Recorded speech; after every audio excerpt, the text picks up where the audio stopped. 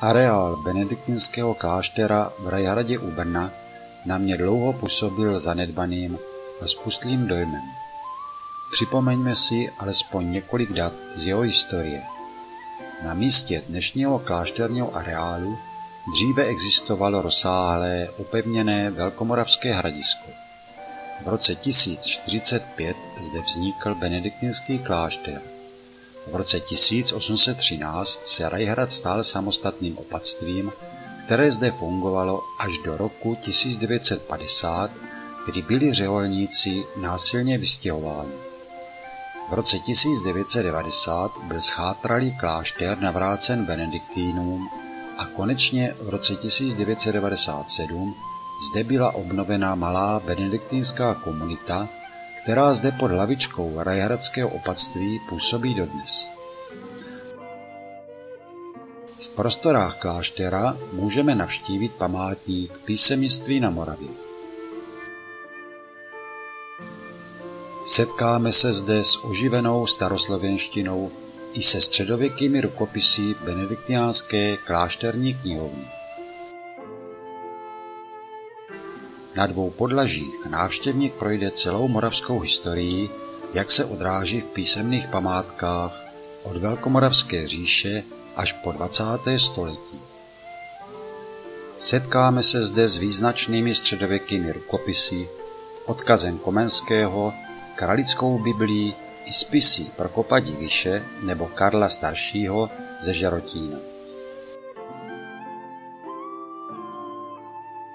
Areál je v současnosti používán i na kulturní výstavnictví.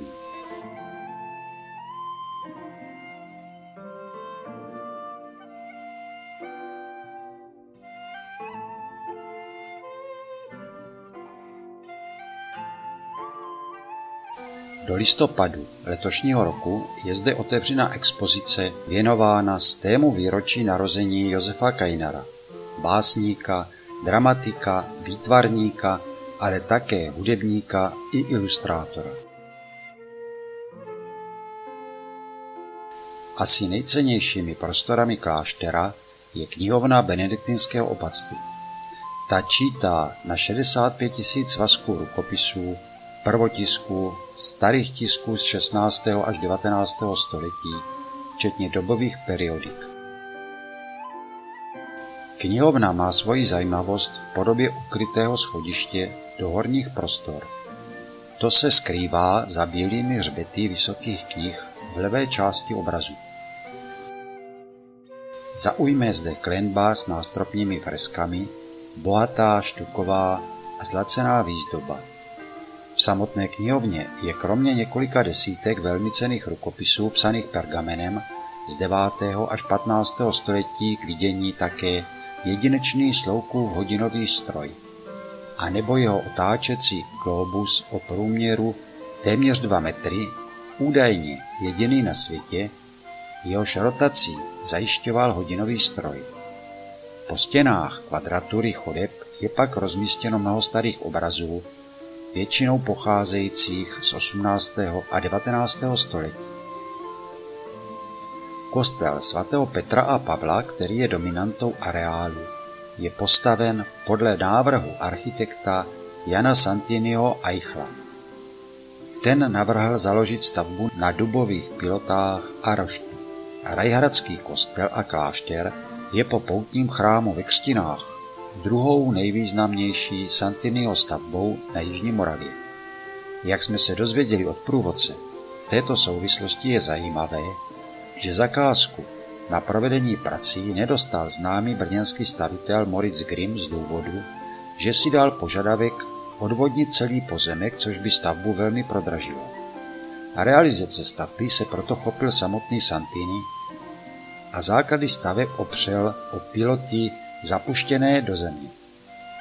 Nádherné stropní malby původně vytvořil už při stavbě kostela malíř Jan Jiří Edgens Socharskou výzdobu měl na starosti Ignác Legenlachr. Kostel byl ale brzy po dokončení poškozen zemětřesením, takže jeho dnešní podoba té původní odpovídá jen částečně. Hlavní oltář je mramorový se dvěma anděli a soškami svatého Cyrila a Metoděje. Chrámové lodí je k vidění dalších osm bočních oltářů. Pod kostelem jsou dvě krypty se zazděnými vchody.